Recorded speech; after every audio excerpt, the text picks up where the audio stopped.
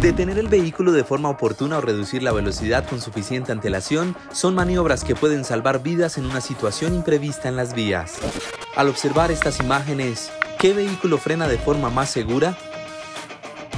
El sistema antibloqueo de frenos o ABS permite a las llantas de un vehículo mantener la adherencia con el pavimento y evita el bloqueo de las llantas, con lo cual se reduce el riesgo de derrapes o deslizamientos.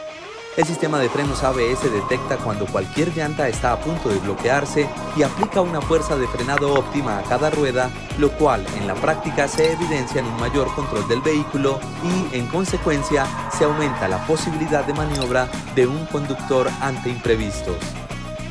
Este sistema, además, mantiene el control y la dirección del vehículo.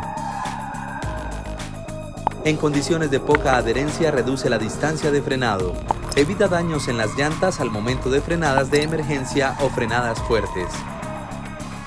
Se ha evidenciado reducciones de hasta el 35% de las colisiones frontales en pisos mojados y hasta en un 9% las colisiones frontales en pisos secos.